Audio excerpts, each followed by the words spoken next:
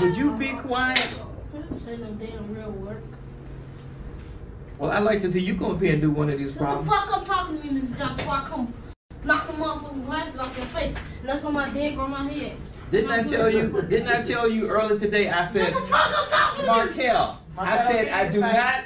I said I do not talk to you that way, and I would appreciate it if you did not talk Shut to the fuck up talking to me! I do not curse at you. Have